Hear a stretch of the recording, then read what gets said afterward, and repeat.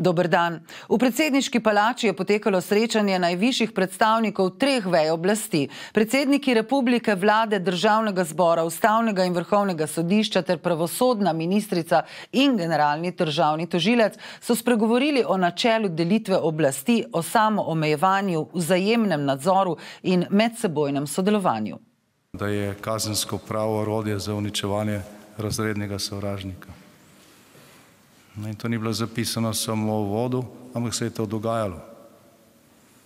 Na stotine ljudi se je obsodilo na smrt in usmrtilo, po to formulo se jih zaprlo, uničilo njihova življenja, družine, karijere, pregnalo po svetu in tako naprej. Gospod Floriančič, to niso bile sodne zmote. To je bil sistem za uničevanje ljudi.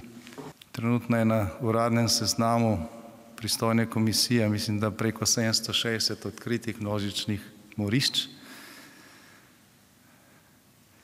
Slovensko sodstvo in tožilstvo ni procesiralo niti enega. Za zločine, ki ne zastarajo, niti po mednarodnem pravu, niti po naši zakonodaji. Nekdanja služba družbenega knjigovodstva je v tem istem času vložila preko 700 vadb za divje lastninjenje. Pokradeno je bilo najmanj tri četrtine slovenske državne ekonomije. Slovensko tožilstvo in sodstvo ni spravilo za zapahe praktično nikogar, še tisti, ki je še bil potem pomiloščen od predsednika države. Potem smo pa naenkrat in to že po vstopu v Evropsko unijo prišli v situacijo, ko je bilo prepovedano uh, celo slikati sodnika na razpravi.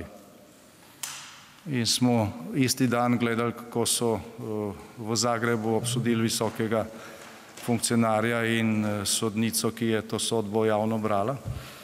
Pri nas pa je bilo to prepovedano oziroma z nekim sodnim redom onemogočeno. Potem je prišlo do spremembe, ki se pa samo delno izvaja. Zdaj, zadnji napredek v narekovajih k tej javnosti je zdaj še nedostopnost pravnomočnih sodb, ki se omejuje. Se pravi, gremo popolnoma v nasprotno smer od tega, kar je potrebno storiti za to, da bo sodna veja oblasti imela zaupanje javnosti. Zdaj, tega zaupanja se ne da ustvariti z, z tem, ko se govori o pretiranih kritikah, pa napadih na sodstvo. Eh, zdaj, če so veje oblasti med seboj eh, ločene, ne, eh, potem verjetno ni prepovedano izrekati tudi kako kritiko, vsej sicer ne vem, kako sploh lahko govorimo o demokraciji. Nekaj časa smo celo poslušali, da vse, kar naredi sodstvo, da je treba spoštovati, ne da je treba upoštevati, ampak da je treba spoštovati, uh,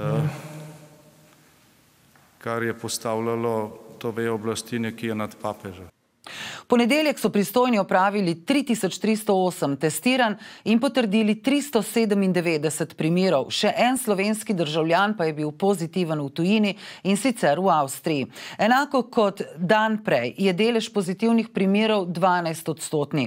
Hospitaliziranih je 180 okuženih, 32 jih je na intenzivni negi. Štiri osebe so umrle. Včeraj se je pojavilo novo žarišče v Trubarjevem domu upokojencev v Loki pri Zidanem mostu mostu, kjer so potrdili okužbo pri 31 stanovalcih in 9 zaposlenih. Nove okužbe imajo v centru slepih, slabovidnih in starejših Škofja Loka.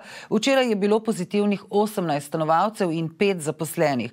Prvo okužbo so potrdili tudi v domu pokojencev Kran. Primer okužbe so zabeležili tudi v DSO Petra Uzerja v Tržiču in DSO Trebnje. Ponovno se je okužba pojavila v Črnomlju. Po zadnjih podatkih novih okužb ni v centru za usposabljanje delo in varstvo Črna na Koroškem. Vladni govorec Elko Kacin je zjutraj sporočil, da nas čaka dolg in zelo zahteven dan. Zaradi izpolnjenih pogojev za izvajanje ukrepov iz tretjega svežnja ukrepov iz načrta, ki ga je pripravila vlada, se bo po besedah Kacina še danes popovdne sestala vlada v krizni sestavi skupaj s svetovalno skupino Ministrstva za zdravje. Sestanek bo namenjen usklajevanju posameznih ukrepov pred sredino sejo vlade, na kateri bo ta odločala o sprejemu novih ukrepov v skladu z načrtom ukrepanja za drugi val širitve novega koronavirusa. Če pogledamo javno objavljen načrt, eh, ki eh, govori o tem, kaj nas čaka pri ukrepih, za tretji svežen potrebujemo kot prak 120 okuženih na 100 tisoč prebivalcev, ravno kar smo ugotovili, da je teh 179, potrebujemo 180 ljudi v bolnišnicah in potrebujemo 30 na intenzivni negi. Vsi ti pogoji so zdaj izpolnjeni. S hladnejšim vremenom se druženja prestavijo v zaprte prostore, kljub temu, da že dalj časa pozivamo k odpovedi oziroma premaknitvi družen, praznovanj, na kasnejši datum in da v državi velja omejitev zbiranja do deset oseb, pa nažalost preštevilni, nažalost preštevilni eh, pozivov stroke še vedno ne upoštevajo. Vedno več je zabav v različnih kočah, tudi v lovskih kočah, ki so zelo oblegane, ker so na bolj odmaknenih območjih. A tudi druženje dalec stran od ostalih ljudi je še vedno druženje, ki, če se med seboj družijo ljudje, ki ne živijo v istem gospodinstvu, močno poveča tveganje za prenos in širjenje virusa. Ne gre le za tveganje, gre za širjenje virusa in obolevanje. Zato moj poziv lovskim družinam naj onemogočijo to vrstne okužbe. Aplikacija deluje, v zadnjih 14 dneh je bilo izdanih 455 tan kot, dejansko vnešenih v aplikacijo pa je bilo 282. Eh, to pomeni, da skoraj dve tretjini eh, tistih, ki so kodo dobili, jo je tudi vneslo v svoj telefon in omogočilo, da aplikacija opozori druge, ki so bili v bližini tega telefona v zadnjih dneh.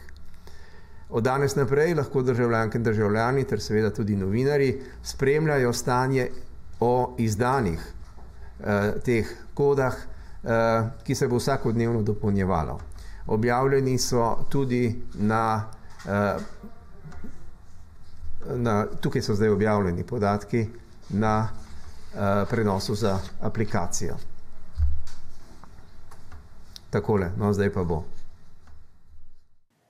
Na Nacionalnem inštitutu za javno zdravje v ponedeljek 19. oktober začenjajo cepiti proti gripi v ambulantah območnih enot za sezono 2020-2021. Kot opozarjajo, je letos toliko bolj pomembno, da se čim več ljudi tako zaščiti pred gripo, še posebej pa to velja za skupine, pri katerih gripa lahko poteka težje ali zapleti. Za cepljenje se je treba predhodno naročiti po telefonu ali elektronski pošti, saj je vstop v čakalnico zaradi individualne obravnave omogočen le naročenim in v dogovorjenem terminu. Osebno naročanje v ambulanti ni mogoče, opozarjajo na Inštitutu za javno zdravje. Na cepljenje lahko pridejo le zdrave osebe, ki v zadnjih 14 dneh niso imele znakov respiratorne okužbe. Prav tako pa okužbe niso imele osebe, s katerimi živijo v istem gospodinstvu. Obvezna je uporaba kiruške maske ter razkoževanje rok ob vstopu v prostore območne enote enote Inštituta za javno zdravje. Ministrstvo za infrastrukturo je objavilo predlog zakona o oskrbi z električno energijo, s katerim želijo zagotoviti konkurenčno, varno, zanesljivo in dostopno oskrbo z električno energijo ob upoštevanju načel trajnostnega razvoja. Cilj je vzpostaviti konkurenčne, prožne in pregledne trge električne energije. V javni obravnavi bo do 12. novembra. Predlog zakona določa pravila delovanja trga z električno energijo, proizvodnje, prenosa, distribucije, shranjevanje in dobave električne energije skupaj z določbami za varstvo končnih odjemalcev, načine in oblike izvajanja gospodarskih javnih služb na področju prenosa in distribucije električne energije ter trga z električno energijo. Danes bo na primorskem pretežno jasno, drugod bo delno jasno z mirno oblačnostjo. V vzhodni polovici Slovenije pa pretežno oblačno. Ponekod na Štajerskem in v Pomorju bo občasno rahlo deževalo. Predvsem tam bo pihal tudi severozahodni veter. Poglejmo še, kaj pravijo vremenoslovci.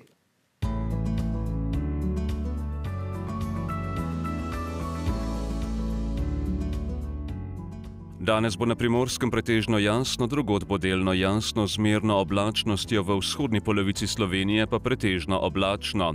Ponekod na Štajerskem in v Pomorju bo občasno rahlo deževalo. Najvišje dnevne temperature bodo od 8 do 13, na primorskem do 16 stopinj Celzija. Po noči se bo v večjem delu Slovenije zjasnilo, zjutraj bo po nekaterih nižinah megla. Najnižje temperature bodo od nič do 4, v alpskih dolinah okoli minus 3, ob morju okoli 8 stopinj Celzija. Jutri čez dan se bo od jugozahoda oblačnost povečala, le ponekod v severni in v vzhodni Sloveniji bo še dokaj sončno. Najvišje dnevne temperature bodo od 11 do 17 stopinj Celzija.